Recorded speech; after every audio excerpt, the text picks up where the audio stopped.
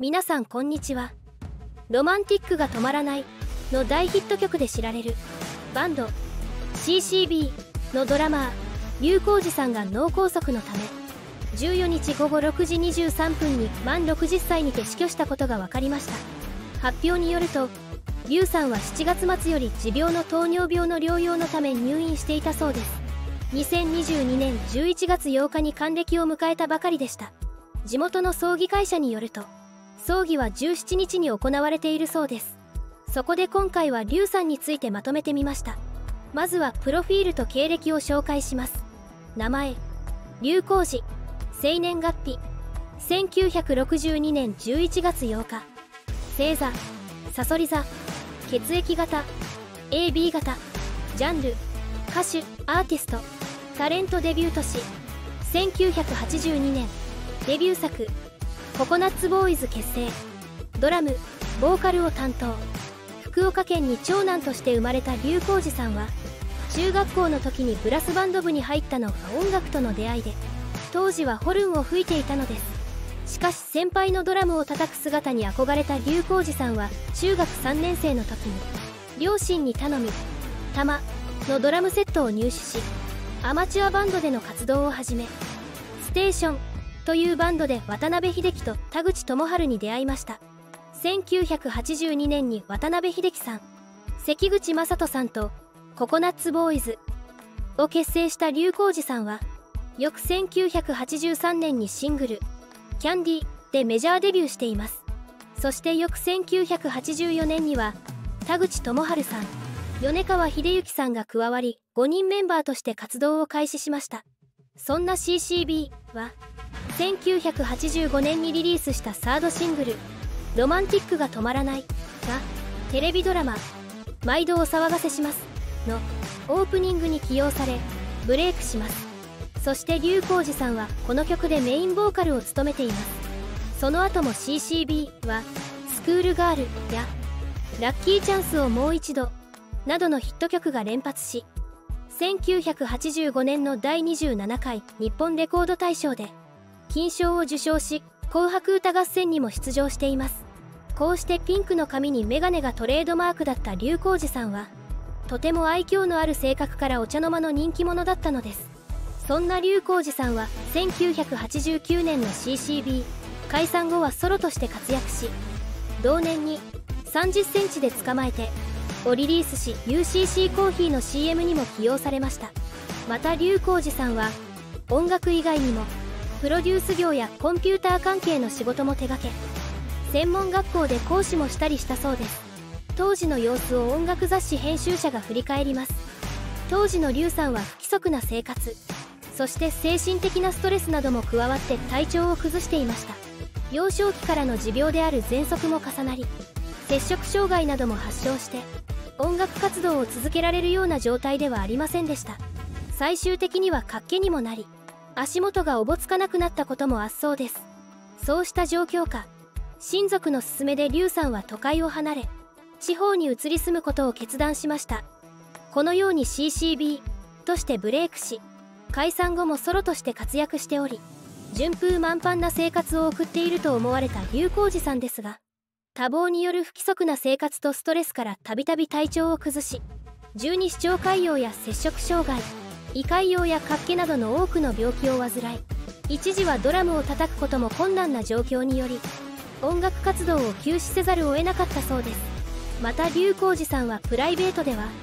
1990年頃に結婚しますがちょうど体調を崩した頃に離婚したそうです。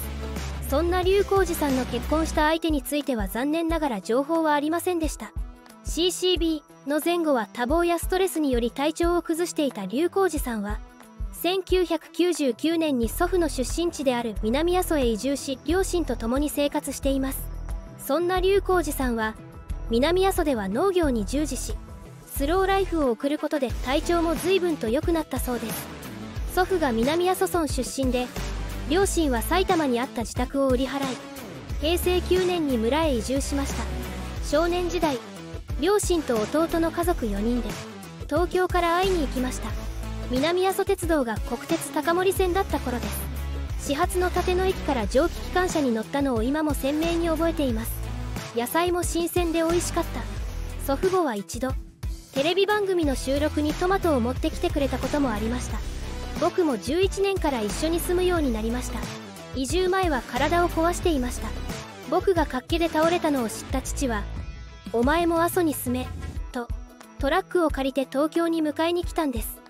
活気は戦時中になった人が多いんだぞ。と教えてくれ荷物を全部運んでくれました。阿蘇へ帰ってから2年ほどのんびり過ごしました。叔父や両親が農業を営んでいたのでトマトやイチゴ米の収穫作業を手伝いました。阿蘇で暮らすようになり随分と人間らしくなりました。今も月に数回上京するけれど必ず阿蘇に帰ってくる。最初は寂しさや不便さも感じましたが徐々に体も回復し精神的にも楽になった。手足が動くようになった。阿蘇の大自然に優しい人々に癒されたのでしょう。と劉さん本人が言われていたのでその当時は体もだいぶ回復なされていたようです。そして地元で音楽活動を再開し交流を続けていた CCB の元メンバーとも2002年頃からセッションを行うようになったとか。当時のことを音楽雑誌編集者はこのように語っています。その頃から CCB 再結成の機運が高まり2005年にはフジテレビで放送されたドラマ電車男の挿入歌として「ロマンティックが止まらない」が採用されたこと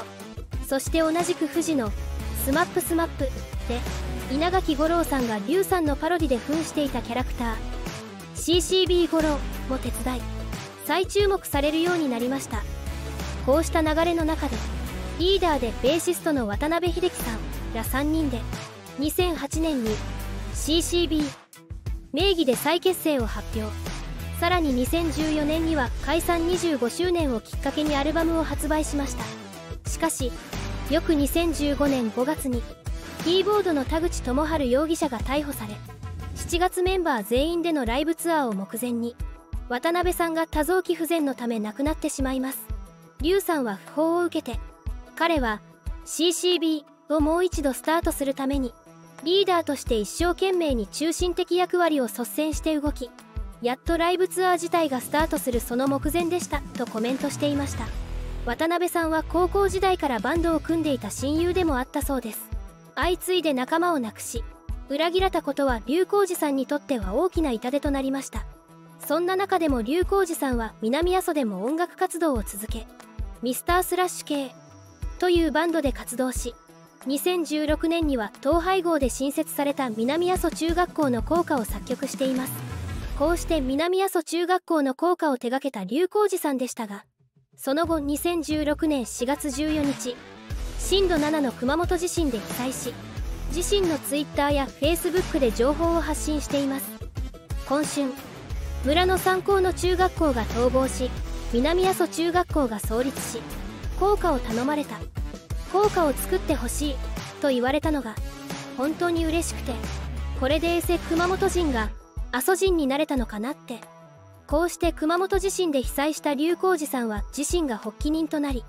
熊本在住のミュージシャンやタレントの賛同を得て熊本復興応援プロジェクト「明日へのエールワンスアゲイン」を発足し最後まで活動を続けていました。実は2018年11月 twitter 上で龍光寺さんが3ヶ月前に脳梗塞で倒れて現在リハビリ中だという情報が流れたのです。そこでニュースなどを調べてみましたが脳梗塞だという情報は見当たらず真相については不明ですが2時間も倒れて搬送されたとなるとニュースになってもおかしくないですよね。龍光寺さんで検索すると「杖」というキーワードが出てくることから調べてみたところ2020年10月31日に NHK で放送された堤恭平からの贈り物天才作曲家の素顔に龍光寺さんが出演しており杖をついていたと話題になっていました。また前室の音楽雑誌編集者は劉さんは被災をきっかけに音楽で地元に恩返しがしたいと意気込んでいました。地元の中学校の校歌を作曲するなどしていましたが最近では体調が思わしくなかったようで東京で会った時はかなり痩せて見えました。今年もライブ活動を行っていたようですが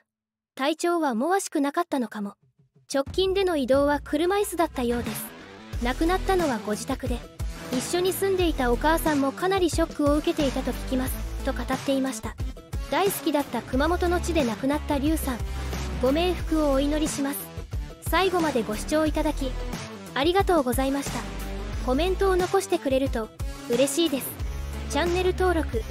高評価もぜひお願いいたします。それではまた。